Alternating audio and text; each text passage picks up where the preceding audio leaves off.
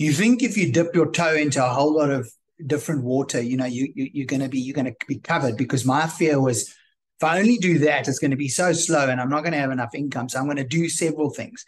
It's a bit, it's a mistake actually, because you should be focused. If you don't focus on one thing, uh, you know, in the beginning anyway, you probably won't make a success, and then you wonder why, and you you become a generalist and then you're not really successful at anything.